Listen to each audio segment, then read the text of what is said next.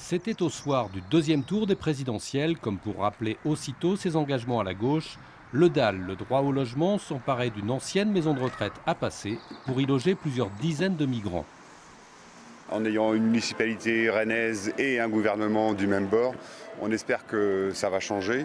Et surtout, on voulait euh, sortir des petites réquisitions qu'on fait à droite à gauche qui arrangent tout le monde. Et là, on veut vraiment que les élus se préoccupent de la situation de centaines de migrants qui sont à la rue avec euh, des enfants, des femmes handicapées, quelque chose de monstrueux.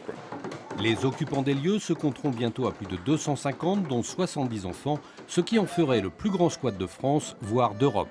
Des représentants de 15 nationalités, d'Europe de l'Est, d'Afrique ou d'Asie, pour qui ce squat est la seule alternative à la rue, permettant aussi démarches administratives et scolarisation des enfants.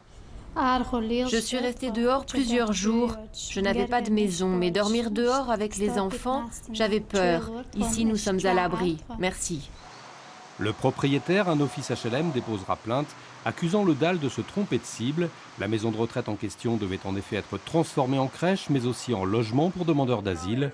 En juillet, le tribunal de Rennes rendait une décision autorisant les squatteurs à rester là jusqu'au 15 novembre. Mais après,